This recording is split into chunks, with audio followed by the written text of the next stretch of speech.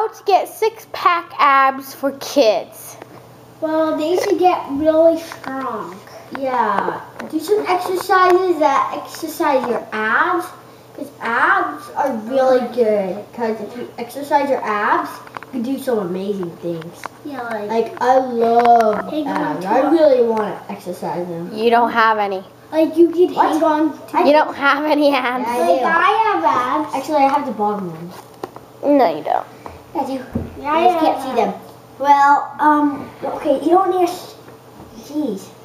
Well, yeah. Do a ton, a ton of exercise. Eat a lot of healthy mm-hmm. foods. That'll help your abs. Mm-hmm. And Drink a lot of milk. Milk is good for your, your bones and muscles. is. So it'll help your muscles. I see. Milk.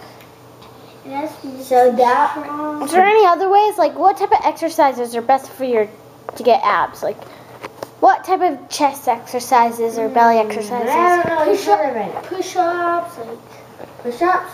Push-ups. That's again. normally meant for your arms and your legs. arms and Yeah. around. Here. But it does stretch out your chest and Yeah, it does help your chest, but not your abs. I see.